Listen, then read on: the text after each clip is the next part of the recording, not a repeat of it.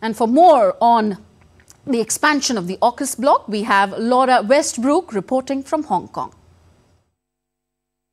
This is a trilateral security pact uh, for the Indo Pacific region, as you mentioned, to help counter the growing uh, influence of China in that region. It involves the US, Britain, and Australia. And those three countries' defense ministers, they are expected to start talks on um, inviting in new members to uh, look at uh, collaboration on this second pillar. So this involves the second pillar of the pact, and that is all around collaboration collaboration around technology, such as collaborating around hypersonic weapons. They won't be discussing uh, bringing in new members to the first pillar, and that is all about helping Australia acquire uh, nuclear submarines. Now, the US President Joe Biden, he will be hosting the Japanese Prime Minister Kishida at the White House on Wednesday, and that's where we are likely expecting that talks could take place.